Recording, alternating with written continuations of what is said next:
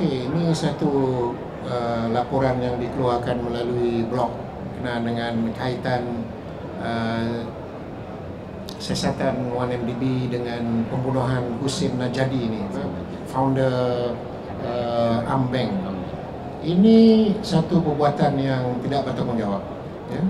Mereka sengaja uh, ingin menyebarkan berita-berita yang tidak betul, membuat fitnah dan kami sedang menyiasat perkara ini. Uh, tidak ada kaitan kes pembunuhan Husin Najadi itu dengan siasatan kes 1MDB. Tidak ada sama sekali. Kita tahu apa sebab uh, kes pembunuhan uh, Husin Najadi itu uh, berlaku. Kita yang pembunuhnya pun telah pun dihukum. Ya. Uh, dan uh, saya mengesahkan di sini tidak ada laporan polis kononnya dibuat oleh Husin Najadi pada 26 hari bulan sebelum dia dibunuh itu berkenaan dengan kemasukan jumlah wang ke dalam bank negara itu tidak ada berlaku.